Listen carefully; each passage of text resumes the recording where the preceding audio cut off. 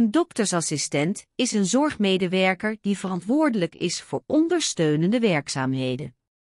Als doktersassistent ben je dan ook een belangrijke aanvulling voor een dokter binnen zijn of haar praktijk, omdat een doktersassistent veel handelingen uit handen neemt. De werkzaamheden van een doktersassistent moeten over het algemeen gezien worden als ondersteunende werkzaamheden, zoals het beantwoorden van de telefoon, het maken van afspraken met patiënten, het ontvangen van patiënten, het klaarleggen van dossiers en het verzorgen van de administratie. Daarnaast zorg je er als doktersassistent voor dat de praktijk netjes is.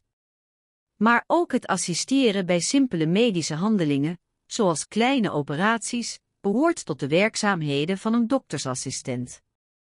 Daarnaast kan een doktersassistent verantwoordelijk zijn voor het geven van medische voorlichting aan patiënten. Het is dus niet zo dat een doktersassistent alleen verantwoordelijk is voor het assisteren van dokters.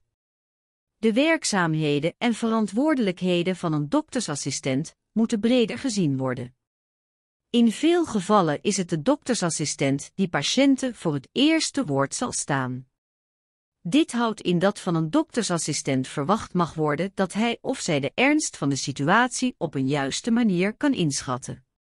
Als doktersassistent kan je werkzaam zijn voor verschillende soorten medisch specialisten, huisartsen en bedrijfsartsen, afhankelijk van waar je precies werkzaam bent als doktersassistent.